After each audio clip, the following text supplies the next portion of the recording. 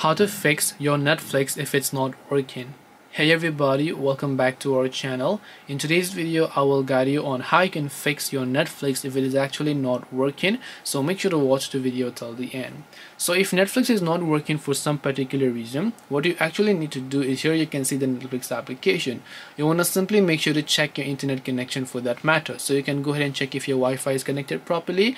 And if your Wi-Fi is also connected properly, try to open the Netflix application and see if your account is not on hold. Because many times what happens is that just like in mine your account could actually be on hold which is basically an issue with your payment method. So you can tap on update payment method in order to update your payment method in this regard. Enter the new payment method or remove that and re-add again and you should be good to go from there onwards.